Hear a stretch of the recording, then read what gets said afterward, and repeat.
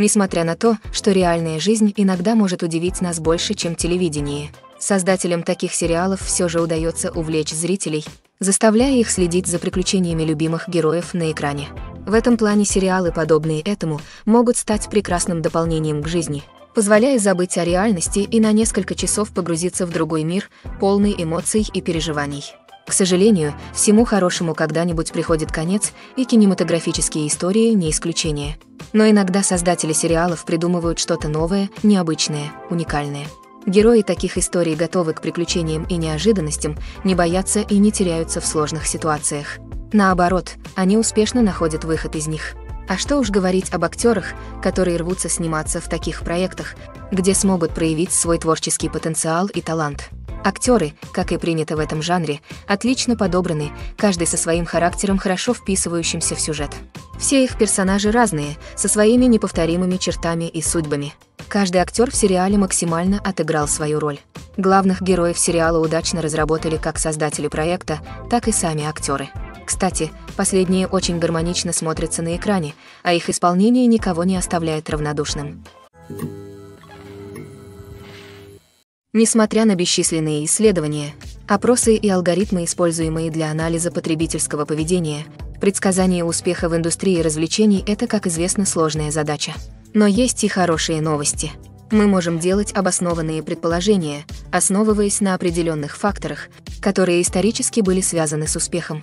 Например, известные актеры или режиссеры, связанные с проектом, часто привлекают внимание и волнение публики. Сильная маркетинговая кампания также может вызвать ажиотаж и ожидания. Еще одним фактором является жанр постановки. Определенные жанры, такие как боевик, комедия и драма, имеют широкую привлекательность и, как правило, хорошо себя зарекомендовали. Однако даже в рамках этих жанров успех может быть разным. Например, романтическая комедия может стать хитом, а боевик может провалиться. Также стоит учитывать нынешний культурный климат. Постановки, затрагивающие актуальные социальные или политические вопросы, часто вызывают разговоры и вызывают интерес. Конечно, из каждого правила есть исключения. Некоторые постановки с громкими именами, масштабными маркетинговыми кампаниями и популярными жанрами по-прежнему проваливаются в прокате или не привлекают внимания зрителей. А иногда производство без громких имен, небольшого маркетинга и малопопулярного жанра может стать неожиданным хитом. Однако стоит отметить, что рост стриминг-сервисов добавил новый уровень сложности к прогнозированию успеха. Эти сервисы полагаются на аналитику, основанную на данных, для принятия решения о том, какой контент производить или приобретать. Анализируя данные о просмотрах и поведении пользователей, они могут определить закономерности и тенденции, которые могут указывать на то, что интересует аудиторию. Вы когда-нибудь задумывались, откуда берутся деньги, чтобы воплощать в жизнь ваши любимые сериалы и фильмы? Этот вопрос озадачил многих, и ответ на него одновременно завораживает и удивляет. Во-первых, важно понимать, что создание сериала или фильма – это немалый подвиг. Это требует много времени, сил и, конечно же, денег. Итак, откуда берутся эти деньги? Одним из источников являются сами студии – Многие студии имеют финансовую поддержку для финансирования собственного производства. Они могут позволить себе инвестировать миллионы долларов в один проект и надеются получить отдачу от своих инвестиций в виде кассовых сборов или доходов от онлайн-кинотеатров. Другой источник – независимые финансисты. Это богатые люди или компании, которые инвестируют в фильмы или сериалы в надежде получить прибыль. Они часто питают страсть к искусству и готовы рискнуть в проекте, в который верят. Многие из них финансируются продюсерскими компаниями, которые затем продают право сетям и стриминг-платформам. Это может включать в себя сложную сеть переговоров и сделок. Например, производственная компания может обратиться к каналам с пилотным эпизодом, надеясь получить финансирование для полного сериала. Если канал заинтересован, они могут предложить лицензионную плату или согласиться на совместное финансирование проекта. В качестве альтернативы некоторые сериалы полностью финансируются потоковой платформой, такой как Netflix или Amazon Prime, которые затем сохраняют права на сериалы. Еще один способ, с помощью которого кинематографисты могут финансировать свои проекты, это кинофестивали. Многие фестивали предлагают возможности финансирования или контакты с потенциальными инвесторами для фильмов-победителей. Кроме того, фильм, получивший положительные отзывы на фестивале, может вызвать интерес у дистрибьюторов, которые, возможно, захотят профинансировать более широкий прокат. Конечно, некоторые из крупнейших проектов на телевидении и в кино финансируются крупными студиями с большими карманами. Эти студии имеют доступ к огромным суммам денег и могут позволить взять на себя финансовый риск производства высокобюджетных фильмов и сериалов. Однако даже студиям приходится тщательно обдумывать, какие проекты они выбирают для финансирования, поскольку нет никаких гарантий возврата их инвестиций. Есть что-то поистине волшебное в походе на премьеру фильма в кинотеатре.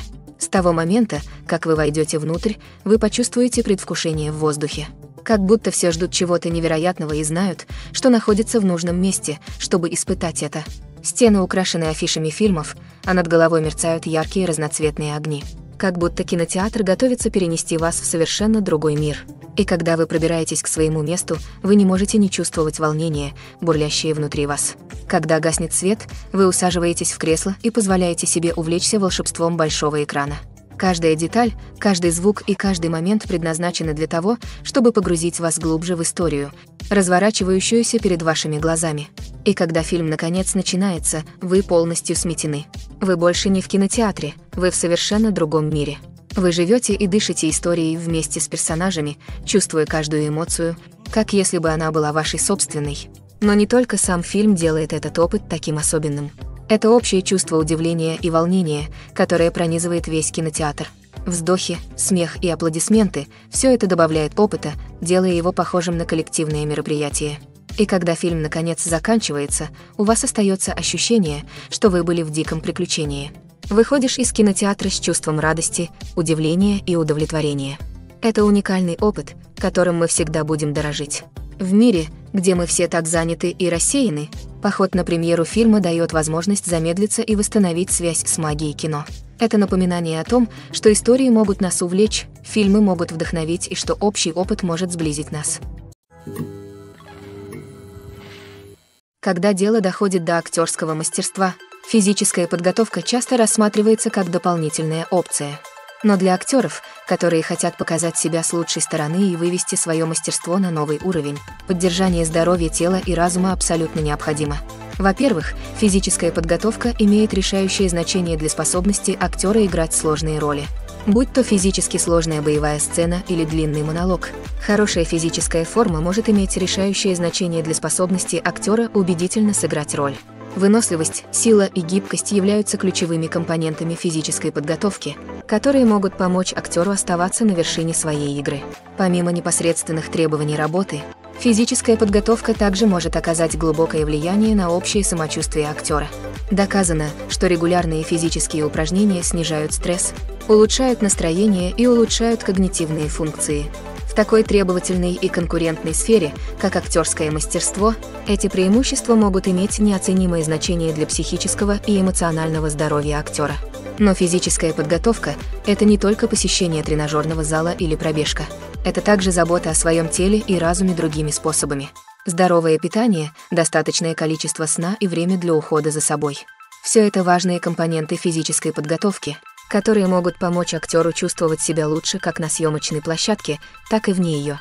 Уделяя первоочередное внимание своему здоровью и благополучию, актеры могут улучшить свои выступления, расширить свои карьерные перспективы и наслаждаться более счастливой и полноценной жизнью как на сцене, так и за ее пределами. При этом важно помнить, что избыточный вес не обязательно означает, что актер менее талантлив или менее способен. Есть много успешных актеров, которые не соответствуют типичному голливудскому шаблону и добились успеха, используя свою уникальную внешность и таланты. Более того, индустрия развлечений медленно, но верно становится все более инклюзивной и принимает различные типы телосложения. Теперь у актеров с избыточным весом больше возможностей найти работу, и многие постановки активно ищут исполнителей с разным опытом. Актеры готовы, но не хватает одного важного элемента – звука. Без звуковых эффектов фильм или сериал могут не получиться, и зрители будут чувствовать, что чего-то не хватает. Вот тут-то и появляется искусство звукозаписи. Запись звуковых эффектов для фильмов и сериалов – сложный и увлекательный процесс. в котором участвует команда опытных профессионалов, работающих вместе над созданием захватывающего звука. Эти звукорежиссеры и так называемые специалисты по шумам фоли способны перенести нас в другой мир, дать нам почувствовать, что мы находимся прямо в центре событий. Представьте себе сцену, где персонаж идет в лесу. Шуршание листьев под ногами, щебетание птиц, далекий звук ручья. Все эти звуки должны быть тщательно записаны и наложены друг на друга, чтобы создать реалистичный и захватывающий звуковой опыт. Специалисты Фоли используют различные реквизиты и оборудование, чтобы воссоздать эти звуки в студии. От хруста сельдерея для имитации звука ломающихся костей до использования полотенца и пары обуви для создания звука шагов на разных поверхностях. Но звукозапись — это не только создание реалистичных звуковых эффектов. Речь также идет об использовании звука для передачи эмоций и рассказа истории. Простая мелодия на фортепиано может тронуть струны нашего сердца, а внезапный взрыв музыки может заставить нас вскочить со стула. Звуковые эффекты могут создать напряжение и даже заставить нас смеяться. Одним из самых сложных аспектов записи звуковых эффектов для фильмов и сериалов является запись звуков реальных ситуаций. Представьте, что вы пытаетесь записать звук автокатастрофы или грозы. Ждать, пока эти события произойдут естественным образом, не совсем практично. Вот где в дело вступают звукорежиссеры, использующие комбинацию записанных звуков и специальных эффектов для создания того самого желаемого эффекта. Искусство звукозаписи постоянно развивается, постоянно появляются новые технологии и приемы. От использования бинауральной записи до разработки звукового дизайна виртуальной реальности возможности безграничны. Кроме того, звуковые эффекты не ограничиваются только добавлением реализма или эмоциональной глубины сцены. Их также можно использовать для создания ощущения времени и места. Например, звук дискового набора телефона может перенести нас в прошлое, а потрескивание винила может вызвать ностальгию по ушедшей эпохе. Но несмотря на эти достижения, для записи звуковых эффектов для фильмов и сериалов по-прежнему требуются значительные навыки и мастерство. Требуются годы практики и опыта, чтобы овладеть искусством фоли, понять физику звука и узнать, какие микрофоны и методы записи использовать в различных ситуациях. Многие любители кино оказывались полностью захваченными новым сериалом, с нетерпением ожидая следующего сезона. А затем внезапно узнавали, что сериал неожиданно закрыли. Это разочаровывающий опыт, и он стал слишком распространенным в последние годы. Так почему же сериалы заканчиваются после всего лишь одного сезона? Давайте рассмотрим некоторые причины этого явления. Одна из самых распространенных причин, по которой сериал заканчивается всего через один сезон, это низкие рейтинги.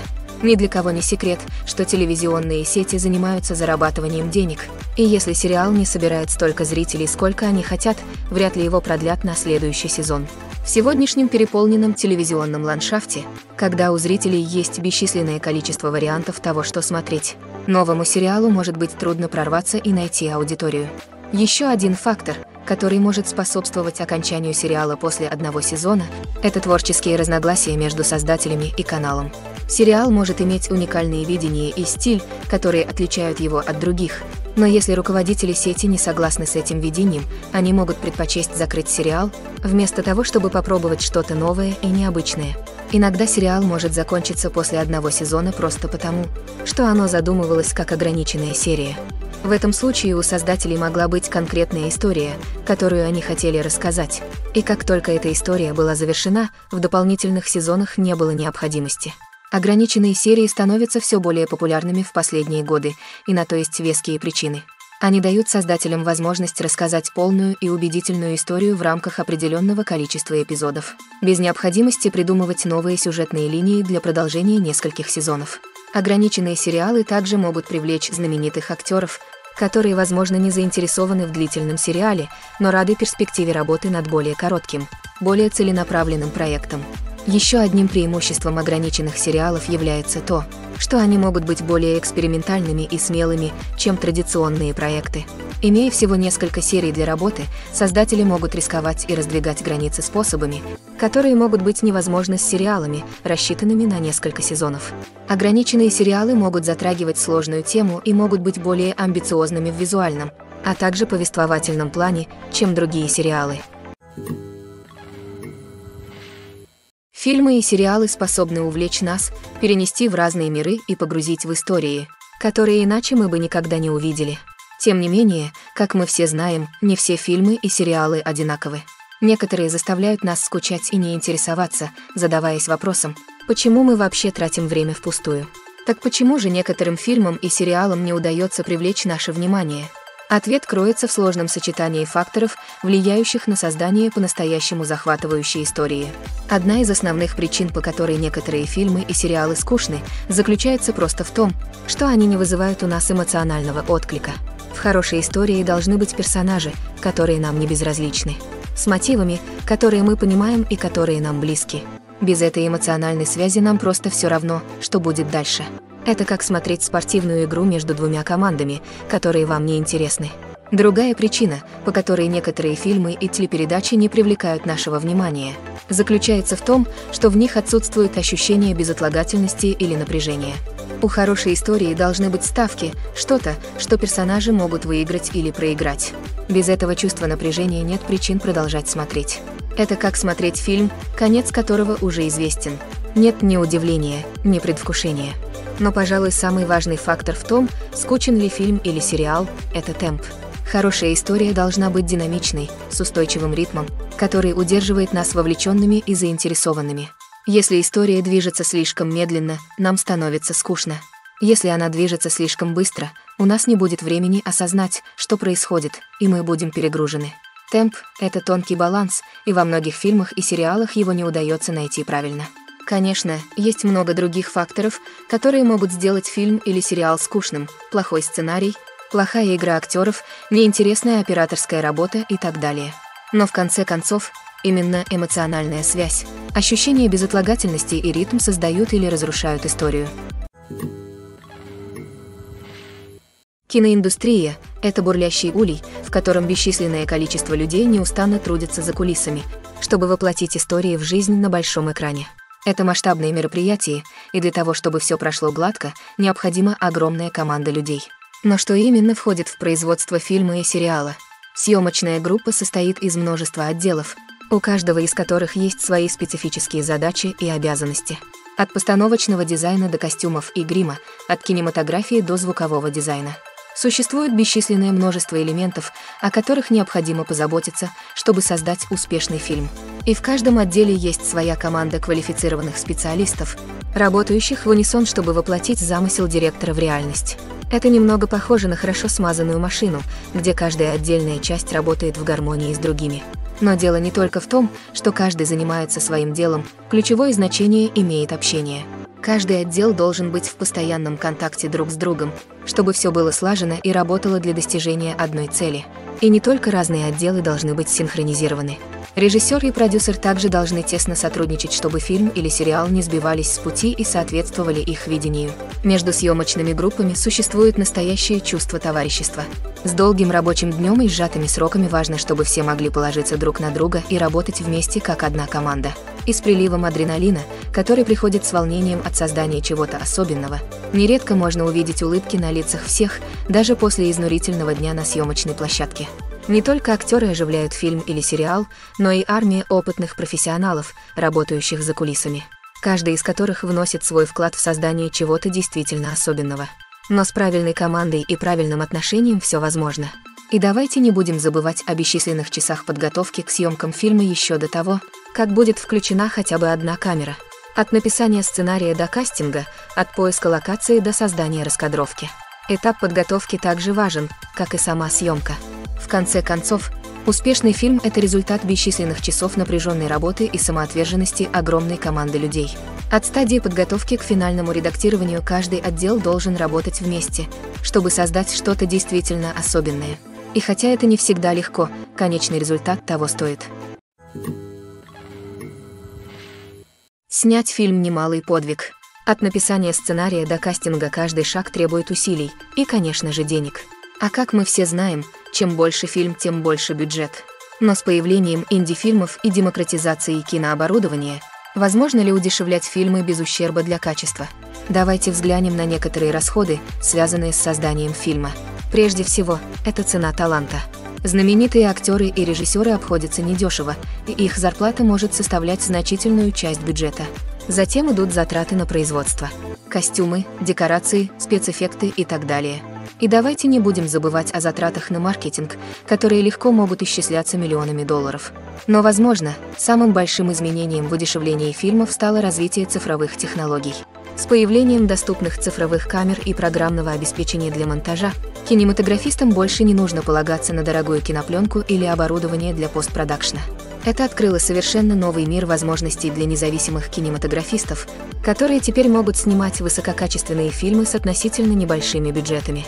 Конечно, всегда будут высокобюджетные блокбастеры, на создание которых уходят миллионы долларов. Но демократизация кинопроизводства привела к появлению нового поколения кинематографистов, которые используют творческий подход и находчивость для создания фильмов.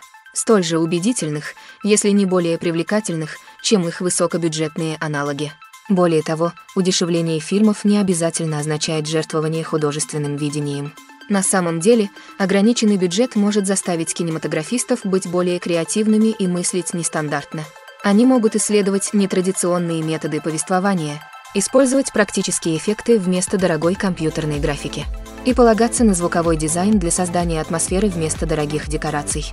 Это может привести к созданию более оригинальных и запоминающихся фильмов, поскольку они выделяются из толпы высокобюджетных блокбастеров. Голливудские студии, как правило, перестраховываются и придерживаются проверенных формул, поскольку они не хотят вкладывать миллионы долларов в непроверенные концепции. Но независимые кинематографисты могут позволить себе рискнуть и раздвинуть границы киноиндустрии. Это может привести к новаторским фильмам, которые бросают вызов нашим предположениям и расширяют наши горизонты. Кино и сериалы — это многомиллиардная индустрия, которая очаровывает зрителей во всем мире. Они предлагают нам способ убежать от реальности, возможность испытать разные миры и форму развлечения, которые не похожи ни на что другое. Однако, несмотря на успех отрасли, остается вопрос, всегда ли фильмы и сериалы окупаются. На первый взгляд может показаться, что фильмы и сериалы всегда приносят прибыль. В конце концов, фильмы-блокбастеры могут приносить сотни миллионов долларов в прокате. Однако реальность такова, что отрасль невероятно непредсказуема, и успех далеко не гарантирован. Во-первых, стоимость производства фильма или сериала может быть астрономической. Производство одного фильма может стоить десятки миллионов долларов. То же самое касается и сериалов. Это означает, что даже незначительное разочарование в прокате или падение рейтинга может оказать существенное влияние на прибыльность проекта. Еще одна проблема – вопрос дистрибуции. Стриминг-сервисы изменили традиционную модель распространения фильмов и сериалов, и хотя они могут предлагать значительные суммы денег за право на потоковую передачу контента, продюсеры и студии не всегда видят прямую отдачу от инвестиций. Кроме того, серьезной проблемой остается пиратство. Незаконные загрузки и потоки ежегодно обходятся отрасли в миллиарды долларов упущенной выгоды. Даже когда фильм или сериал пользуются успехом, прибыль не всегда распределяется равномерно между всеми заинтересованными сторонами. Например, актеры и режиссеры могут получать огромные зарплаты, что снижает прибыльность проекта. Точно так же студия или производственная компания могут получить значительную долю прибыли, оставив другим заинтересованным сторонам меньше денег, чем они ожидали. Несмотря на эти проблемы, индустрия кино и сериалов продолжает процветать. Потенциал огромной финансовой отдачи, очарование славы и художественного самовыражения – а также любовь к рассказыванию историй. Все это факторы, которые заставляют индустрию двигаться вперед. Хотя некоторые проекты могут не окупить свои производственные затраты или разочаровать в прокате, индустрия в целом остается жизненно важной и динамичной частью нашей культуры. Нельзя отрицать, что актеры являются одними из самых высокооплачиваемых профессионалов в индустрии развлечений в то время как некоторые актеры получают огромные зарплаты, достигающие десятков миллионов долларов. Другие с трудом сводят концы с концами. На самом деле, подавляющее большинство актеров зарабатывают очень мало денег на своем ремесле, и лишь немногие избранные достигают высших эшелонов славы и богатства. Так что же определяет зарплату актера? В игру вступает множество факторов, в том числе их опыт, размер и масштаб проекта, над которым они работают, и даже их репутация – но как насчет подающих надежды актеров, которые еще не достигли такого уровня славы и признания? Ну, их зарплаты могут сильно различаться в зависимости от проекта. Независимые фильмы, например, часто имеют гораздо меньшие бюджеты, чем блокбастеры. А это означает, что актерам может потребоваться сокращение заработной платы, чтобы участвовать в проекте. А еще есть актеры, работающие в театре, где зарплаты могут быть еще более непредсказуемыми. В то время как некоторые звезды Бродвея могут зарабатывать более 100 тысяч долларов в неделю, многие актеры региональных театров зарабатывают гораздо меньше, иногда всего несколько сотен долларов в неделю. Конечно, не только актеры зарабатывают деньги в индустрии развлечений. Режиссеры, продюсеры и сценаристы также получают высокие зарплаты. И даже члены съемочной группы, работающие за кулисами, могут неплохо зарабатывать. Но нельзя отрицать, что актеры являются публичным лицом индустрии, и поэтому они часто несут на себе основную критику, когда обсуждаются зарплаты. Дело не только в размере зарплаты. Актеры также могут вести переговоры о дополнительных возможностях, таких как процент от прибыли, бонусы за достижение определенных этапов или даже права собственности на производство. Традиционно актеры получали фиксированную плату за свою работу. Этот гонорар будет оговариваться до начала производства, и актер получит его независимо от того, насколько успешным окажется проект. Но в последние годы появилась новая тенденция – платить актерам процент от прибыли. На первый взгляд это может показаться более справедливым способом вознаграждения актеров. Ведь если проект удался, то и актеры, которые над ним работали, должны разделить этот успех. Но, как и в большинстве случаев в индустрии развлечений, все не так просто. Во-первых, не каждый проект гарантированно приносит прибыль. На самом деле, многие проекты никогда не окупают свои производственные затраты, не говоря уже о прибыли. В этих случаях актеры, работавшие над проектом, оставались бы ни с чем, даже если бы они вложили месяцы напряженной работы. Несмотря на эти проблемы, многие актеры по-прежнему готовы рискнуть и получить процент от прибыли. Во-первых, это может быть отличным способом заработать больше денег, если проект преуспеет. Но помимо этого, это также может быть способом для актеров продемонстрировать свою веру в проект и показать, что они готовы тяжело работать, чтобы добиться успеха. Актерское мастерство – это вид искусства, который веками очаровывал публику. От древнегреческих трагедий до современного кино, умение изображать эмоции и характеры на сцене или экране всегда высоко ценилось. Однако не все наделены природным талантом к актерскому мастерству, и многие могут задаться вопросом, почему это так? По своей сути, актерское мастерство требует сочетания врожденных способностей и приобретенных навыков. Наиболее фундаментальным аспектом актерского мастерства является способность убедительно выражать эмоции с помощью мимики, языка тела и модуляции голоса. Некоторые люди от природы одарены в этой области, обладая рядом выражений лица и жестов, которые могут передавать самые разные эмоции. Другим, возможно, придется много работать, чтобы развить эти навыки посредством практики и обучения. В дополнение к эмоциональному выражению актерское мастерство также требует способности понимать и воплощать характеры. Это означает возможность погрузиться в вымышленный мир и убедительно изобразить мысли, чувства и мотивы персонажа. Это требует высокого уровня эмпатии и воображения, которыми не каждый обладает в равной мере. Но одного таланта недостаточно, чтобы стать успешным актером. Это также требует самоотверженности, тяжелой работы и готовности учиться и расти.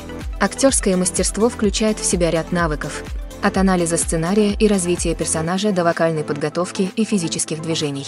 Это требует часов практики и репетиций, часто без особого признания или вознаграждения. Только те, кто действительно увлечен своим ремеслом, могут упорно преодолевать трудности и неудачи. Будь то на сцене или на экране, актерское мастерство позволяет людям исследовать свои творческие способности, выражать свои эмоции и общаться с аудиторией мощным и осмысленным образом. Кроме того, важно понимать, что актерский талант может проявляться во многих различных формах. То время как некоторые актеры могут преуспеть в драматических или эмоциональных ролях, другие могут блистать в комедийных выступлениях. Не существует универсального подхода к актерскому мастерству. Разные роли требуют разных навыков и талантов. Поэтому, хотя у некоторых людей может не быть естественной способности преуспеть в определенных типах ролей, у них могут быть другие таланты, которые делают их идеально подходящими для других типов выступлений. Фильмы и сериалы всегда были мощным средством повествования и развлечения. Но помимо своей основной цели, они также могут влиять на поведение, мнение и образ жизни зрителей в разных частях мира. От формирования политических взглядов до установления модных тенденций. Кино могут влиять на нашу жизнь множеством способов. Одним из наиболее важных способов влияния фильмов и сериалов на зрителей является создание культурных икон и героев. Эти персонажи становятся образцами для подражания для зрителей, формируя их ценности и отношения к различным аспектам жизни. Еще один способ, которым кино влияет на зрителей, это формирование их восприятия мира. Программы новостей и текущих событий могут влиять на общественное мнение по различным вопросам, от политических идеологий до социальных движений. Точно так же вымышленные фильмы и сериалы могут создавать стереотипы и предрассудки, которые могут влиять на то, как зрители воспринимают разные культуры и расы. Влияние культурных икон и героев выходит за рамки развлечения и может иметь последствия в реальном мире. Например, представление различных культур, рас и полов на экране может влиять на отношение общества к этим группам. Позитивное представление может бросить вызов стереотипам и способствовать сочувствию, в то время как отрицательное может увековечить вредные предубеждения и дискриминацию. Кроме того, культурные иконы и герои также могут влиять на поведение потребителей, особенно в индустрии моды и красоты. Например, популярность определенной прически, предмета одежды или макияжа на экране может привести к увеличению продаж этих продуктов. Точно так же изображение определенных образов жизни и ценностей на экране может повлиять на потребительский выбор, например, на решение вести вегетарианский или веганский образ жизни. В каждом великом фильме или телесериале всегда есть персонажи, за которых мы болеем, которыми восхищаемся и с которыми отождествляем себя. Но как насчет персонажей, которых мы ненавидим? Это отрицательные персонажи, и они играют важную роль в привлечении зрителей и удержании их в напряжении. Отрицательные персонажи являются антитезой герою. Часто именно они создают напряжение и конфликт в истории, будь то из-за своих интриг и манипуляций, своей агрессии или мировоззрения. И все же мы не можем не быть очарованы ими. Возможно, это потому, что они представляют темную сторону человеческой природы, на которую мы все способны, но редко признаем. Или, может быть, это просто огромный интерес от наблюдения за кем-то, кто действует вне социальных норм и правил. Независимо от причины, отрицательные персонажи стали неотъемлемой частью повествования. Что делает великим отрицательных персонажей? Дело не только в том, чтобы быть злым или агрессивным. Лучшие отрицательные персонажи — это те, у которых есть глубина и сложность, которых мы можем понять на каком-то уровне, даже если мы не согласны с их действиями. У них есть предыстория, которая объясняет их мотивы, и их действия часто обусловлены чувством отчаяния, боли или травмы. Это полностью проработанные персонажи, а не просто картонные вырезки, предназначенные для того, чтобы их освистывали. Отрицательные персонажи также дают актерам возможность продемонстрировать свой диапазон и талант. Игра злодея или антигероя позволяет актерам исследовать более темные эмоции и мотивы, которые они не могут исследовать в более традиционных героических ролях. Игра отрицательного персонажа может быть палкой о двух концах для актеров. С одной стороны, это может быть прекрасной возможностью продемонстрировать свой диапазон и талант, а также по-новому и интересно пообщаться с аудиторией. С другой стороны, им также может быть трудно избавиться от негативных ассоциаций, связанных с игрой злодея или антигероя. Это явление может быть как благословением, так и проклятием для актеров. Также, с одной стороны, это может помочь установить их наследие и закрепить их место в массовой культуре. А с другой стороны, это также может ограничить их возможности и затруднить их серьезные отношения к другим ролям. Вот почему для актеров так важно тщательно продумать типы ролей, которые они берут на себя, и убедиться, что в их портфолио есть самые разные персонажи. В конечном счете, по-настоящему великий актер способен превзойти своих отрицательных персонажей и создать новые и запоминающиеся роли, которые ценны сами по себе. То, что актер ассоциируется с определенной ролью, не означает, что он не может вырваться из этого шаблона и удивить публику чем-то совершенно другим. Вот что делает мир кино и телевидения таким захватывающим и непредсказуемым. Вы когда-нибудь смотрели фильм или сериал и оказывались полностью погруженными в мир на экране? Персонажи, история и диалоги могут быть важными элементами, но именно декорации могут по-настоящему перенести вас в другое место и время. Декорации — это больше, чем просто фон для действия. Это неотъемлемая часть процесса повествования, визуальное представление мира, в котором живут персонажи. Правильные декорации могут создать настроение, вызвать эмоции и добавить глубины повествованию. Представьте себе вестерн без потрясающих видов американской границы или научно-фантастический фильм без футуристических пейзажей, переносящих вас в другой мир. Декорации помогают создать ощущение места и времени, вовлекая вас в историю и заставляя поверить в мир на экране. Но дело не только в создании правдоподобного мира. Декорации также можно использовать для придания истории символизма и смысла.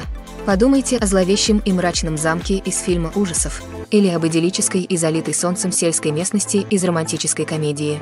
Эти настройки говорят нам кое-что о тоне и темах истории. Декорации также могут использоваться для отражения эмоционального состояния персонажей. Мрачный, дождливый пейзаж может отражать печаль или отчаяние персонажа, в то время как яркая солнечная сцена может указывать на его счастье или надежду. Одна из замечательных особенностей декораций заключается в том, что их можно использовать по-разному. Их можно использовать для создания напряжения, создания настроения или просто для того, чтобы сделать сцену более визуально интересной. Возможности безграничны. Конечно, дело не только в том, что на экране. Правильный саундтрек может улучшить декорации и оживить их. Звук волн, разбивающихся о пляж, или щебетание птиц в лесу могут создать ощущение атмосферы, которая еще больше увлечет вас в историю. В последние годы в индустрии развлечений наблюдается замечательная тенденция переделывать классические фильмы и сериалы. Ремейки, от любимых детских фильмов до культовой классики, в наши дни кажется повсюду. Этот всплеск ремейков вызвал споры как среди зрителей, так и среди критиков. Одни хвалят новые интерпретации, а другие критикуют их как ленивые попытки нажиться на ностальгии. Итак, что движет этой тенденцией? Одним из факторов, несомненно, является сила ностальгии.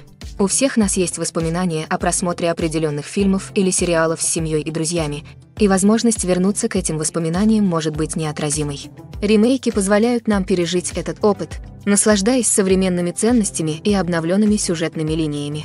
Но одна только ностальгия не может объяснить широкую популярность ремейков. Еще одна причина их популярности – то, как они могут вдохнуть новую жизнь в знакомые истории. Отличный ремейк может взять любимую классику и сделать ее свежей и актуальной для нового поколения. Обновляя обстановку, персонажей или темы, ремейк может использовать текущие культурные тенденции и общаться с более молодыми зрителями. Конечно, не все ремейки одинаковы. Некоторые из них плохо выполнены и не могут передать магию оригинала. Лучшие ремейки обеспечивают баланс между уважением к исходному материалу и привнесением чего-то нового. Недавний всплеск ремейков – сложное явление, которое говорит о нашей ностальгии, нашем желании по-новому взглянуть на знакомые истории. Любите вы их или ненавидите, ремейки никуда не денутся. И будет интересно посмотреть, как они будут развиваться в ближайшие годы.